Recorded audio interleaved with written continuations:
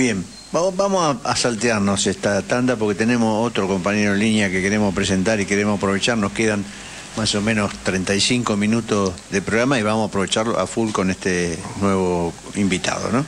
Marcelo, lo puede presentar, por favor. Bueno, eh, tenemos invitado a un viejo compañero, no viejo, sino de larga trayectoria. Eh, Hace mucho que es joven. hace mucho que es joven, gran compañero, eh, que además de ser abogado, es periodista, ha, ha sido diputado, este, y es un gran conocedor de la realidad mexicana. Estoy hablando del querido amigo Oscar Gallego González. ¿Qué tal, Oscar? ¿Cómo estás? Hola Marcelo, buenas tardes, ¿cómo estás? Bien, estamos aquí bastante. Te llamamos antes, pero sabíamos que estabas eh, con- manejando y no podías hablar, porque tenía, estábamos con otro amigo común, con, con Carlos Raimundi, que también te quería saludar. Este, Ah, Carlitos En- en el cruce. bien, muy bien. Muy bien. Este, pero se tuvo que ir, así que te dejó un gran abrazo y este y entonces estamos aquí con Guillermo Varela y con eh, Rubén Fanesi para para que nos cuentes un poco eh, tu visión del proceso mexicano, que sabemos que sos un profundo conocedor como buen Ar- Argelmex, que además él no fue un, un exiliado cualquiera, sino fue un exiliado que tuvo la responsabilidad de ser secretario de redacción de un diario en México, así que... Bien. Sí, hoy decía en mis redes que publiqué la portada, la tapa del diario La Jornada en México, donde yo trabajé en el pasado. Sí. y dije que lamentaba no haber estado anoche, anteanoche en la mesa de redacción para de- decidir sobre esa tapa, porque no sé si ustedes la vieron, es una tapa extraordinaria donde aparece la nueva presidenta, la presidenta electa, Renor, de espaldas con el puño cerrado frente a una enorme multitud en el zócalo. Me parece que es una imagen impactante, no solo desde el punto de vista estético, sino desde el punto de vista político. Pero ¿qué, qué te parece? Una, una foto de esa de una mujer además, ¿no? Porque no es, eh, no es poca cosa en México que haya sido una mujer la, la ganadora de, de las elecciones, ¿no? Sí, porque es proverbial eh, que México es una sociedad que tiene un componente machista muy fuerte. Eh, eh, eso surge de la vida cotidiana, de la literatura, del cine. Hay miles de, de- de constancias de que ese es un estilo, digamos, que está en decadencia y en, y en proceso, pero, este, Pero que todavía existe. pero todavía existe. Además, es el país católico más grande del mundo, más poblado del mundo. Eh, en fin, todos son y, y- que- elementos que conducen a que el hecho de que una mujer sea presidenta, que sea electa presidenta, es muy significativo. Pero además una mujer de izquierda, Sí, sí. pero además una mujer científica, pero además una mujer proveniente de una formación política abiertamente marxista.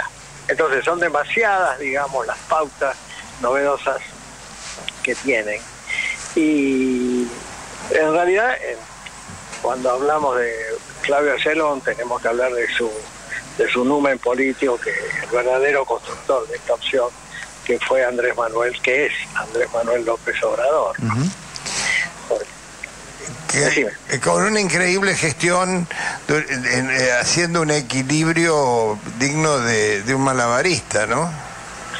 Mira, resistiendo una ofensiva permanente, sistemática, eh, brutal y total de todos los factores tradicionales del poder económico y un embate del sector mediático feroz eh, que no viene de hace poco, sino desde el comienzo de su carrera política.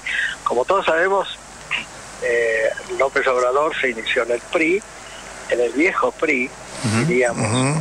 de sesgo populista, para hablar con un término que se usa mucho últimamente, y del PRD, el Partido de la Revolución Democrática, eh, ambas fuerzas políticas originariamente progresistas que, por supuesto, terminaron subjugadas por las ideas y los intereses y el dinero del neoliberalismo y abandonaron su rol histórico, tanto el PRI, el partido que gobernó 70 años, como el PRD, que fue el partido de, la- la- la renovación progresista de hace 30 años. Pero bueno, él tuvo el valor de resistir todas esas ofensivas. Eh, tiene una historia realmente mítica, ¿no? Fue víctima de todo tipo de fraudes electorales, tanto en su estado, en el estado de Tabasco, como en la Ciudad de México. Y protagonizó y encabezó marchas eh, tipo éxodo de Jujuy, eh, con miles y miles, sobre todo de campesinos, eh, que lo fueron acompañando en todas esas actividades de resistencia, de denuncia, y lo que fueron consolidando un liderazgo imbatible que ahora va a continuar seguramente Claudia Sheinbaum con otro estilo, con otro perfil. Pasamos de un dirigente de, mestizo, de origen mestizo, de un estado este, eh, tradicional, interior, a una dirigente de una formación sólida, universitaria, académica, científica y urbana, digamos. Entonces ahí está la, variación, el cambio. Pero bueno, el cambio también es enriquecedor, porque son claro. perfiles complementarios. ¿Hay, ¿Hay expectativa de que haya un, eh, una vuelta más de rosca en, en, el gobierno mexicano a partir de ahora con posiciones tal vez este, eh, más profundas vistas desde el marxismo que, que practica la nueva presidenta, ¿no? Sí, bueno, porque la, gran enseñanza, es una enseñanza para toda América Latina y para Argentina en particular, la, la gran enseñanza de este triunfo de Claudia Sheinbaum y del éxito de López Obrador, que se retira con más del 60% de imagen positiva, una situación totalmente inédita en América Latina y en cualquier otro país, es que se queda demostrado que las, políticas de moderación, las políticas de alinearse en el centro político para, eh, digamos, acomodarse a los tiempos del neoliberalismo y de la globalización en el mundo, eh, no necesariamente dan resultado. Y de hecho, al revés, el hecho de que nunca se han moderado de que nunca han centrado, de que siempre se han mantenido una posición, digamos, de hecho radicalizada en muchos de los problemas, eh, los ha llevado al éxito. Eh, yo creo que esa es la, gran enseñanza, o una, hay muchas enseñanzas de lo que es Morena, López Obrador y, y este triunfo, pero uno de esos, para mí, uno de los más significativos es que hay que terminarla con la idea de que moderando las aspiraciones, de que limitando los objetivos, recortando los programas, cediendo a los poderes fácticos, negociando con el poder económico, con el fondo, que de esa manera se va a sobrevivir. Los regímenes populares o de origen popular o con el voto popular, cuando tienen, cuando tienen eh, esa debilidad, esa, eh, ese impulso eh, conservador que los gana tuvimos una experiencia muy reciente con nuestro propio gobierno de Roberto Fernández, obviamente, ¿eh? que se dio, se dio, se dio, no hizo nada de lo que se debía hacer y terminamos asfaltando el camino de la ultraderecha. Entonces yo creo que la experiencia de México lo que demuestra es totalmente lo contrario, que si uno se mantiene de acuerdo a la promesa electoral, el programa, los objetivos reales, los, eh, eso fortalece, no debilita. Lo que debilita es ceder, ceder, ceder, este, autolimitarse, eh, autorrecortarse, eh, caer en, todo tipo de temores frente al establishment, porque el establishment, la derecha, la ultraderecha, el poder económico, el poder mediático, es impiadoso, es impiadoso. Entonces, obviamente, eh, al que cede, lo estrujan y lo liquidan. Y yo creo que esta es la gran una de las grandes experiencias que nos da las elecciones de, del domingo pasado. Coincidimos totalmente, te saluda Guillermo, ¿cómo estás, Oscar? Hola Guillermo, ¿cómo estás? Mira, yo, vos sabés que accedí a leer la jornada eh, leyendo las notas de Estela Caloni, una gran compañera. Que durante muchos años escribió allí, inclusive no soy el único, modestamente, sino Hugo Chávez también accedió a conocer a, Estela a través de sus notas ¿no? en la jornada. Y Fidel Castro. Y Fidel, y Fidel, y Fidel también, sí señor, sí señor. Los eh, tres fueron, son amigos de ellos. Exacto. Ahora, Claudia, vos sabés que cumple, creo que ahora el 24 de junio, cumple 62 años, es, es relativamente joven. Y ella, yo accedí a un documental que creo que se lo mandé a los compañeros también, en el que ella relata un poco su trayectoria, su vida. Y el primer recuerdo político que tiene ella tenía seis años. Es, la famosa masacre de Tlatelolco, ¿no? La, agresión a los estudiantes de 1968, ¿no? Que fue un, que hubo varios muertos y demás. Sí. Es su primer dato eh, político y tenía apenas seis años de edad, ¿no? ¿Cómo definiría? No sé si la conoces personalmente, pero ¿cómo la definirías a Claudia desde el punto de vista de su, su carácter político, digamos? ¿Se parece a yo, por ejemplo, algo que yo noté siempre en AMLO que me llamó mucho la atención, que se lo ve un hombre muy determinado, muy resolutivo, que toma resoluciones, pero que no utiliza un tono de barricada. Es un hombre que habla serenamente, tranquilo, no en contraste con otros dirigentes que conocimos, ¿no? que eran más, más exaltados o más, más, más eh, grandilocuentes, ¿no? Bueno, hay varias claves eh, para... Son muy diferentes, el uno de la otra, o ella de él. Eh, muy diferentes en personalidad, en trayectoria, en, apreciaciones. Bueno, hay un caso que fue muy conocido, por ejemplo, en el tema de la pandemia, mientras ah, el presidente López Obrador decía que no había que usar barbijo y nada por el estilo, ella se entrevistaba con él, siendo ella jefa de gobierno de la ciudad, con el barbijo. Y hay fotos que son muy emblemáticas, donde él está sin barbijo, hablando con Claudia, que está con barbijo. ¿Qué indica eso? Indica que hay una determinación de su voluntad política, de que ella es la discípula, en el sentido político general, de López Obrador y la, su continuidad, pero no es igual. Eh, el estilo, que para la gente le parece cansino, tranquilo, eh, digamos, con cierta dosis de, personalidad ligada a lo indígena, a lo mestizo, a lo provinciano. Ella es todo lo contrario, es una señora eh, científica, profesión.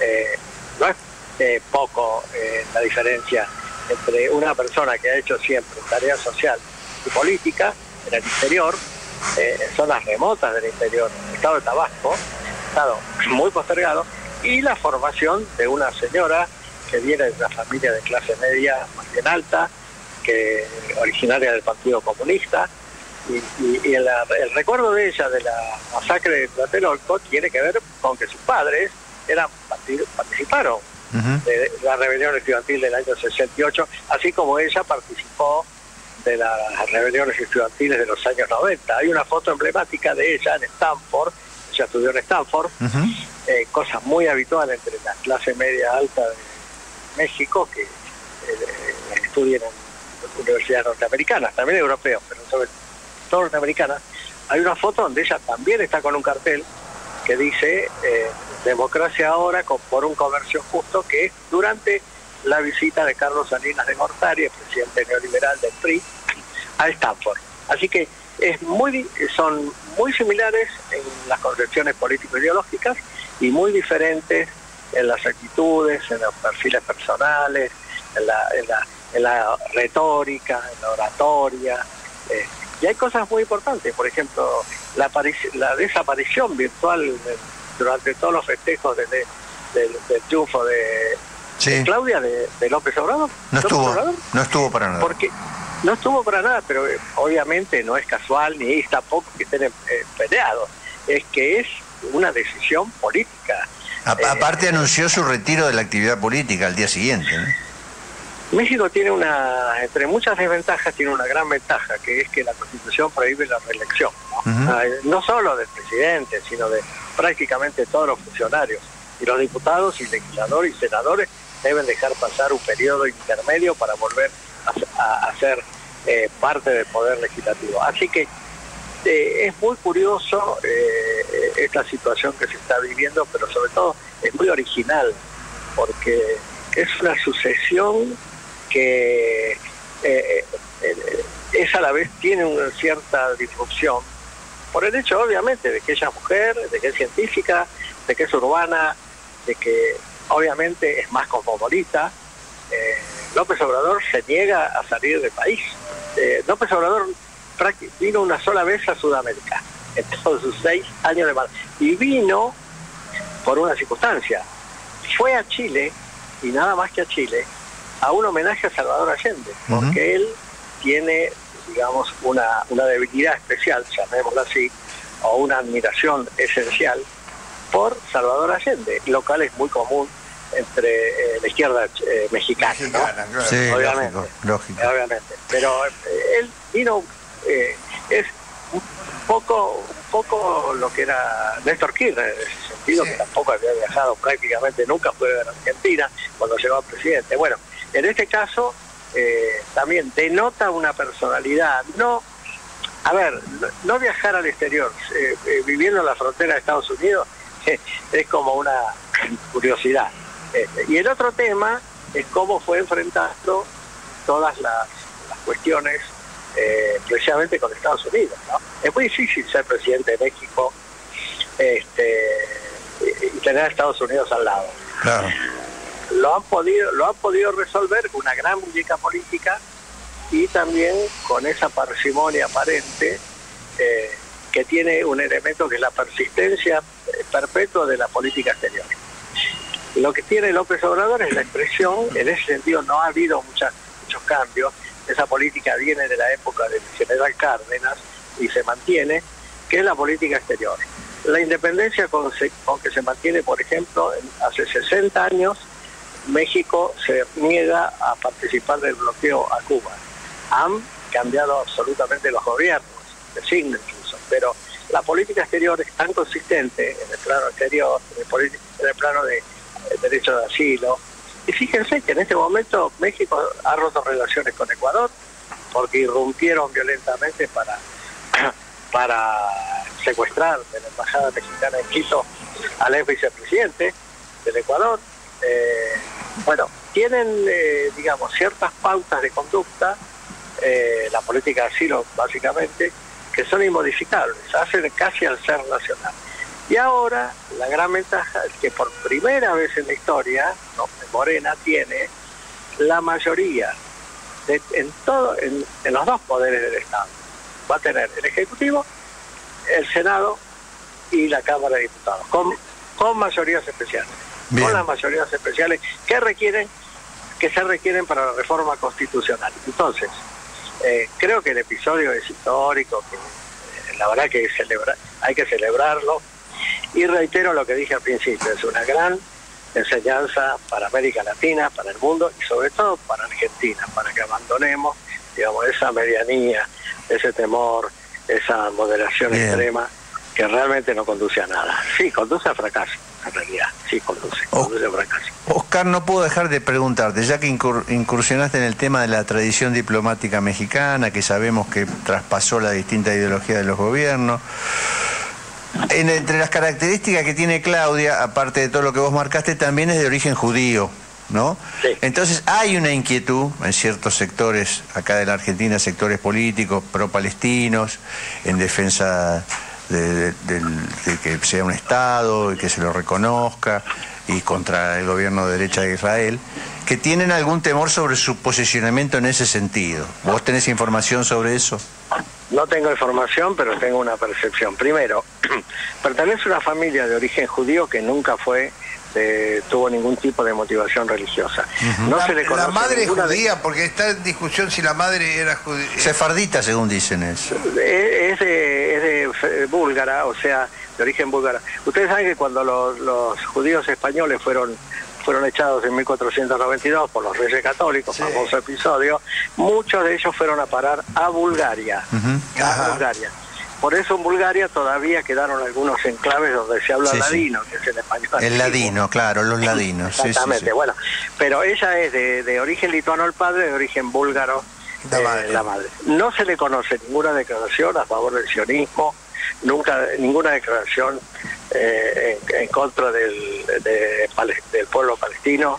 Eh, yo no tengo ninguna duda de que además la política exterior mexicana es totalmente contradictoria con, lo que está sucediendo en Gaza y con, y con la política exterior israelí. Así que en ese sentido yo duermo absolutamente tranquilo. Eh, entiendo la preocupación, porque, pero creo que parte también de un prejuicio que tenemos Sí, que, sí, que sí, abordar. probablemente. Porque, Probablemente. que- Y también a- AMLO se ha referido a ese conflicto eh, tomando posición. No, con por supuesto, ¿no? que él siempre... Sí, sí. Ay, no se va a contradecir este, la anterior.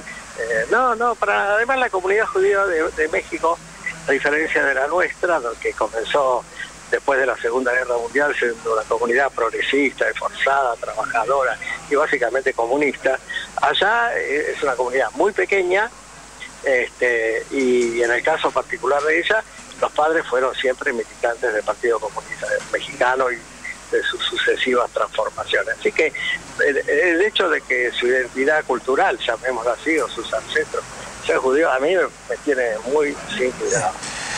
Eh, Oscar, eh, triste papel tratando de robar una foto a Alberto Fernández en, en la Asunción, ¿no? Bueno, eh, Robert- eh, Alberto Fernández es triste, con naturalidad. Vamos a empezar por ahí. Es como Sí, Pernía. sí. como su nombre indica, decía el escritor. Claro. Sí, la verdad que no tiene mucho, yo qué sé. Este, México es muy abierto, México hizo una invitación muy grande, yo la recibí del Instituto Nacional Electoral para ser no eh, observadores políticos porque México no acepta presencia exterior, Sí. ningún tipo de injerencia, entonces creó una categoría que no recuerdo ahora exactamente el nombre, pero en una comunicación que recibí hace unos meses decía invitado a presenciar eh, no veedores electorales. México por eh, México es muy celoso, México es muy nacionalista, México es muy, Me parece, muy celoso. me parece muy razonable porque es un, es un es una actitud bastante desagradable esa del vedor para ver que que evite cómo hacen trampa, esa sería un poco la Claro, cuando uno, cuando uno habla de vedor es que tiene que mirar para que las cosas estén en orden. Sí, Entonces sí. es desconfiar del gobierno que tiene que hacer las exactamente, es muy, muy desagradable. Marcelo, Muy desagradable. ¿Qué te parece si que ya que lo tenemos, Oscar, lo traemos a la candente realidad nacional? ¿no? Ah, yo creí que era independiente, que querías que hablara de su club de fútbol. Ah, Rojo el, independ- todo. el Independiente no están, no, no están en una buena etapa, sintetizar. No, pero tiene un buen, un buen técnico inter- interino que es este el maestro de los arqueros, este Santoro. Hemos estado peor. No, hemos ¿quién es? estado peor. El que estaba con Peckerman, ¿cómo se llama? Este, ay, se me fue. Bueno, lo, lo debe saber Oscar. No, no lo sé. No sé de qué habla Marcelo. No le- Marcelo, viste, se dedica a la literatura. En estos momentos. Hugo Tocali, Hugo Tocali, claro, Ah, Hugo sí, Tocali. sí. Hugo Tocali era de Independiente, era de Platense Hugo Tocali. No, Hugo Tocali estaba en las inferiores de Independiente y ahora se hizo cargo de la primera. Está bien, pero el origen futbolístico de Tocali Ah, es no, en bueno, Platense. el origen futbolístico era este, en, en, en Sacachispa. ¿qué No, no, en Platense, en Platense. Oscar, ¿cómo ves la, la realidad argentina? ¿Cómo ves el, el futuro del movimiento popular? Nosotros estamos acá muy, muy entusiasmados con el surgimiento de la figura de Axel como, como posible conductor del proceso político en la Argentina. ¿Cómo estás viendo eso vos? Bueno, la figura de Axel realmente da un poco de esperanza, genera un- una módica ilusión. Digo módica porque él tiene un gran desafío, que es no solo gobernar, que lo está haciendo y bastante bien, y resistiendo embates, este, zancadillas, eh, Incluso, ajenas, fue, incluso fuego, fuego amigo, ¿no? También. Por eso, por eso digo, zancadillas ajenas y algunas bastante propias. Pero, eh, eh, digamos, es, es, la, es la única apuesta que podemos hacer en, este, en esta coyuntura chica, digamos, eh, en términos, digamos, del momento. Pero si él se supera, digamos, como político, eh, eh, el, el- primero identificarse con las prácticas políticas tradicionales, sean del peronismo, de la izquierda, del resto de la política argentina, incluso del sector nacional popular. O sea, tiene que crear, como así se creó Morena en México, que se rompió con todas las tradiciones, Sí, dijo, bueno, hasta acá, y empezamos algo nuevo y dejamos el PRI, dejar el PRI es bravo en México, ¿eh? Claro. Era dejar el Estado, Claro. dejar el Estado de 70 años. Aparte, el PRI, a mí siempre me llamó la atención el nombre, Revolución Institucional. Hay algo, es una, un una cosa muy rara. Un oxímono. Bueno, Eso es el un oxímono. el oxímono, pero tenía todo un significado. El Partido Revolucionario Institucional era un partido corporativo integrado por la central obrera, la central campesina, la central de las clases medias, comerciantes, etcétera, una base estudiantil y una base intelectual que cultivaron muchísimo, por eso muchos intelectuales todavía hoy en México están en contra de López Obrador, porque estaban acostumbrados a las ventajas que le daba ser una de las patas del, PRI. Pero bueno, volviendo a Argentina, eh, sí, Kicillof eh, es una gran esperanza, eh, tiene un perfil muy adecuado, tiene todas las condiciones, es brillante intelectualmente, tiene la edad apropiada, eh, tiene, digamos, una, un elemento muy importante en la política que es la honestidad. ¿eh? Nadie puede, por más que se hayan realizado, lo dieron vuelta diez veces y nunca nadie logró encontrar ninguna irregularidad ni en su patrimonio, ni en sus actitudes, ni pública, ni privada. Bueno, y te, agrego el afecto popular también, ¿no? Y el afecto popular. Eh, el tema de que yo, eh, un poco en la, en la desconfianza con que vivo después de los episodios a los cuales hemos contribuido también de alguna manera el resto de fuerzas, sectores. Tú también, Brutus, tú también, Brutus. Por eso, tú también. Yo lo que digo es, él tiene que superar, él tiene que superar el, molde del peronismo, del PJ, del pejotismo, de toda esa cosa vieja, caduca, que ya no funciona, que es una cáscara vacía, es una institución que no, no, no, no, ya no reditúa políticamente nada.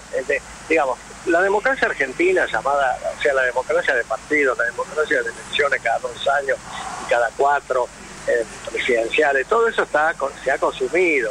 Fragor de las crisis sucesivas políticas, económicas y ahora también culturales. Entonces, eh, si él logra recombinar y partir de ese punto privilegiado en que se encuentra, ser el gobernador nada menos que de la provincia de Buenos Aires, eh, que tiene el territorio de España, este, y, se, y supera, digamos, y no se ensarza, no se mete, no se mezcla las internas, internistas, eh, zancadilla. Eh, si él logra liberarse de eso, ampliando su equipo y su base social, él tiene una cierta tendencia que se entiende a rodearse de gente muy blindadamente cercana y eso tiene una ventaja que es que la seguridad de que no va a aparecer un Scioli ahí Claro, Pero, pero eso también... No, pero además que sobrevivió de algo que le impusieron y consiguió salir airoso, que fue la presencia